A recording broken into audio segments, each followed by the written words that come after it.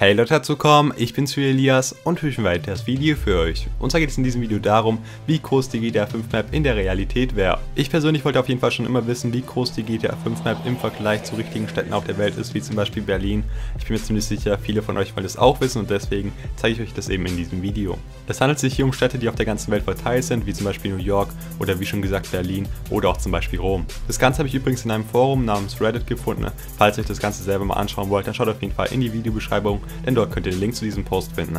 Hier ist jetzt eben mal ein Beispiel, links an der Küste könnt ihr zum Beispiel Barcelona aus Spanien finden und rechts eben die GTA 5 Map und jetzt könnt ihr euch eben ungefähr vorstellen, wie groß die GTA 5 Map in echt wäre. Wie schon gesagt, ich habe natürlich mehrere Städte für euch am Start, aber währenddessen werde ich eben meine Fresse halten. Also falls euch das Video gefallen sollte, dann wisst ihr was ihr tun müsst und das war's von mir. Ich bin weg, ciao, haut rein.